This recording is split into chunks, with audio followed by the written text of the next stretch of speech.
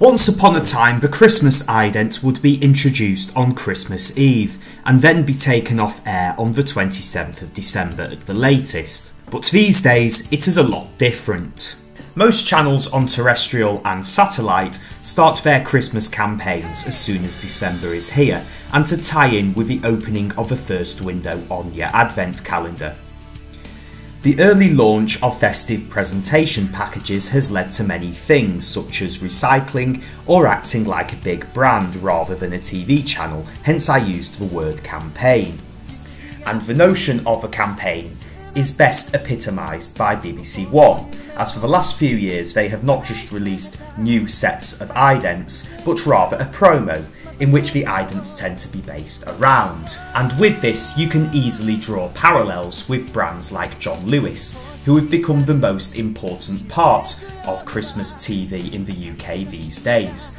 And BBC One also has a teaser trailer, giving us, the viewer, an idea of what the promo might be. The teaser trailer this year ended up being one of the idents within this year's package, and the promo has the hashtag Xmas Life, and this is a technique which has also been done by John Lewis when promoting their advert. One problem with me discussing the promo in this video is that any footage of this year's BBC One promo will not feature in this due to copyright strikes as last year's video I made on last year's BBC One presentation was taken off completely earlier this year due to me having the clip in the video. So when discussing the promo, I may talk over some random clips, maybe being idents or stills from this year's promo, or maybe something completely random, so bear with that. This promo was due to debut on our screen alongside the idents before the Strictly Come Dancing results show, but instead we had to wait until after Strictly and before the fantastic drama His Dark Materials for the launch promo. And I was actually happy with one of the most important events for me in the calendar coinciding with something which appeals to more towards my viewing tastes. We actually saw the promo launched after we saw the first idents, something slightly different to what we have seen in previous years with the BBC One promo. And the first ident we saw was the cat on the Roomba, which made sense as Auntie had been teasing us with this. And then after seeing this first ident, we saw the promo followed by the next ident to introduce us into our fantastic Sunday night drama. After seeing the Cat on the Roomba teaser on Twitter, I did not have high hopes for this year's promo with regard to it being good, though I was actually impressed after seeing it in full on TV.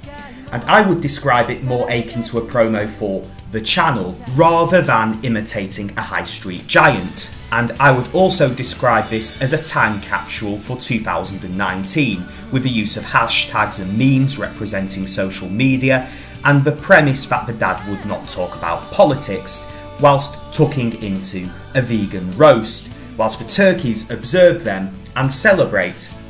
What makes this very BBC would be the presence of the stars, such as Graham Norton, who kicked everything off in the promo, the nature of the promo has a Slade vibe to it, as it basically says, Here it is, Merry Christmas, and look to the future now, it has only just begun.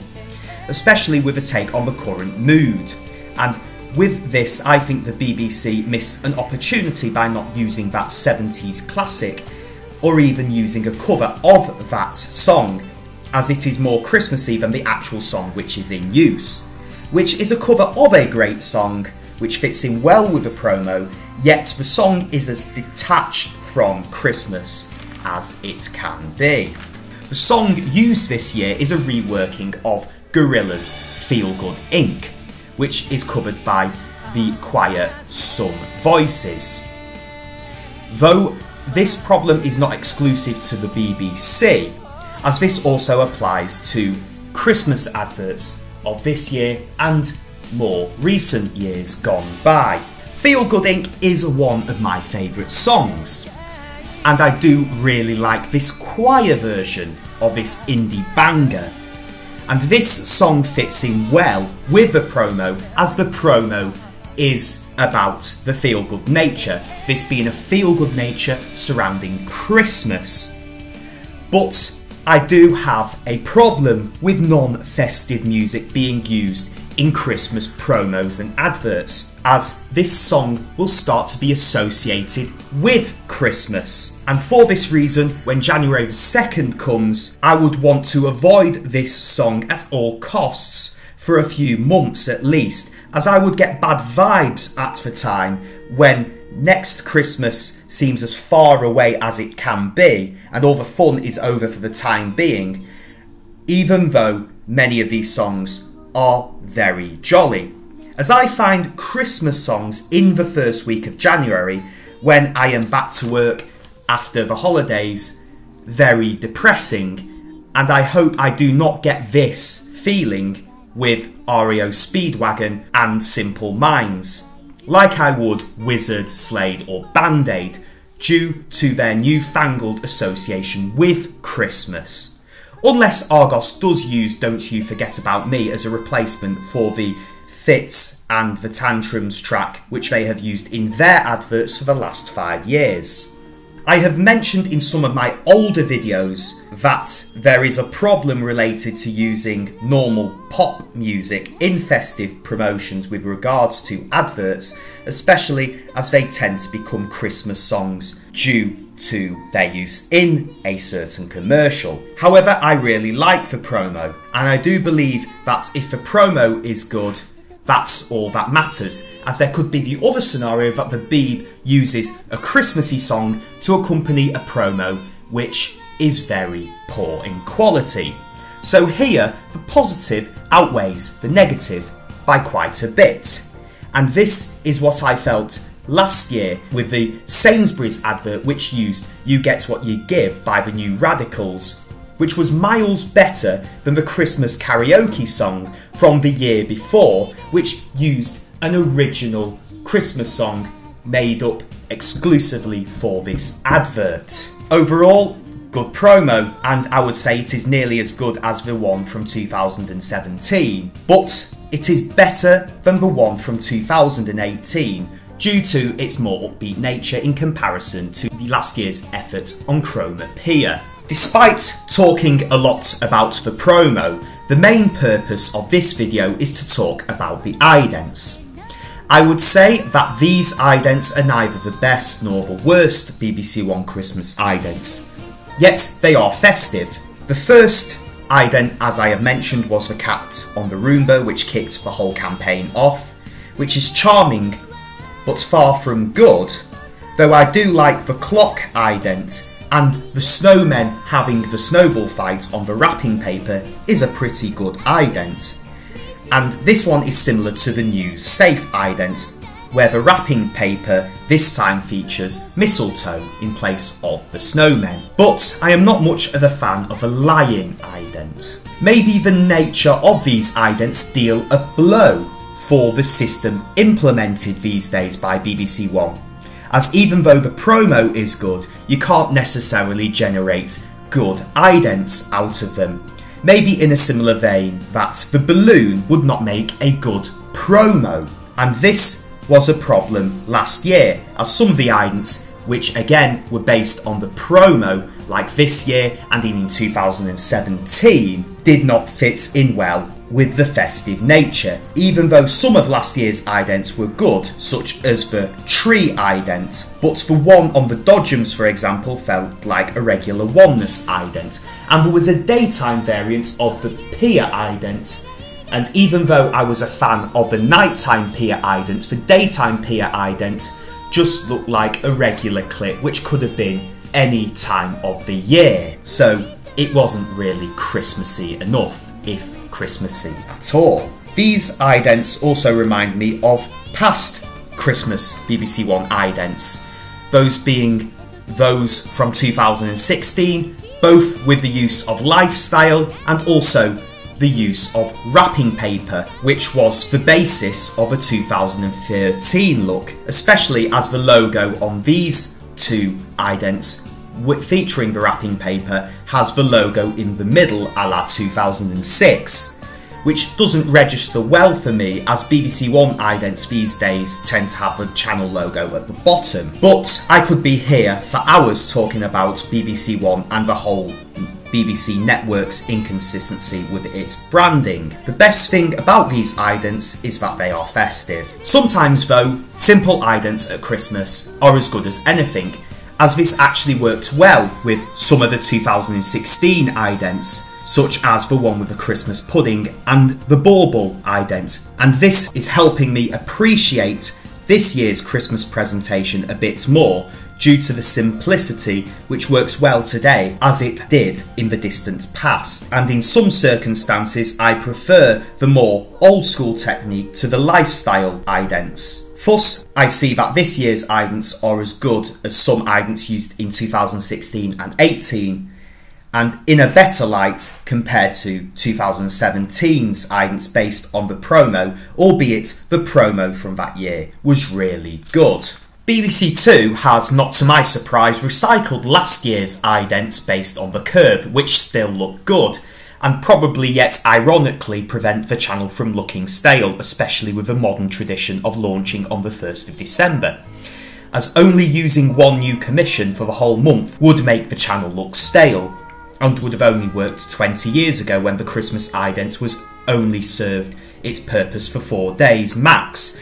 But we did get a wonderful tinsel ident added to the festive set, and we may yet see more this year and in the next few years. I don't mind seeing Christmas idents repeated every year as long as they are good idents, and I have always felt this way with regards to BBC Two, especially during the second run of The Bladed 2. The contenders though for this year's best Christmas ident would have to be a matchup between ITV and Channel 5. It has been an amazing year for ITV's presentation with their revolutionary ITV Creates campaign, where the channel has commissioned a fresh new ident every week by a different resident artist.